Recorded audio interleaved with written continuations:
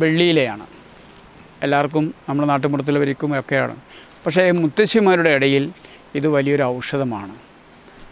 കാരണം ഇന്ന് കുട്ടികൾക്കുണ്ടാവുന്ന രാപ്പനി ഈ രാപ്പനിയുള്ള കുട്ടികൾക്ക് ആട്ടിൻ പാലിൽ ഈ കാണുന്ന വെളുത്ത പുഷ്പം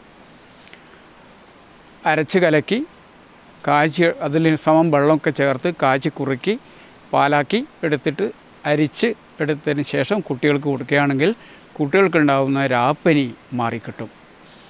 ഇത് പണ്ട് മുത്തശ്ശിമാർ വലിയൊരു ഔഷധമായി കണ്ട ഒരു ചെടിയാണിത്.